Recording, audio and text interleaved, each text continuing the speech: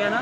अभी हमारे प्रमोद भाई बात कर रहे थे कि धीरे धीरे हर वार्ड में होगा और परब साहब के नेतृत्व में पूरे अंधेरी विधानसभा में पच्चीस हज़ार संख्या की आमदार के नेतृत्व में और सारे पदाधिकारी मिलके मीटिंग ले गया और परब साहब से निवेदन है कि आप उद्धव साहब को लेके आइए।